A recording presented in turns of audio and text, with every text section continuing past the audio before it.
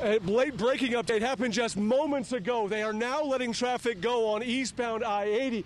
That's the good news. The bad news is eastbound I 80 traffic was held for about an hour, which means all of that holiday traffic has backed up.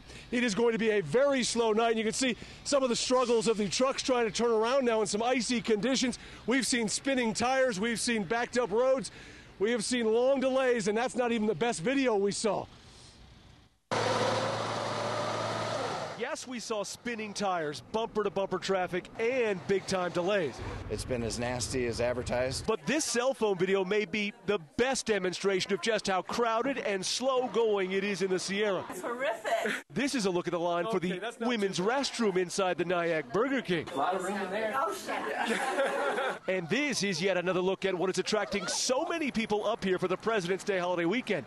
Light, deep, powder snow. Just keeps coming. How much snow this week? Ooh, five, six feet. And for those who do make it up here and do play up here this weekend, look at the kind of snow you're going to have. It is light, it is fluffy, and in the words of one regular snowboarder up here, he told me yesterday was the best powder day he's ever had. And now that we got this, it's going to be a good day. Pictures like this meaning one thing for Sierra businesses. Money. White means green. Just beware, with slick roads and heavy traffic, delays could end up measuring in hours tonight. Better to get there slowly than not get there at all. And back here live, you can see some of these trucks trying to make their run now up to Interstate 80. But again, we still have snow falling. You've got people putting chains on over here.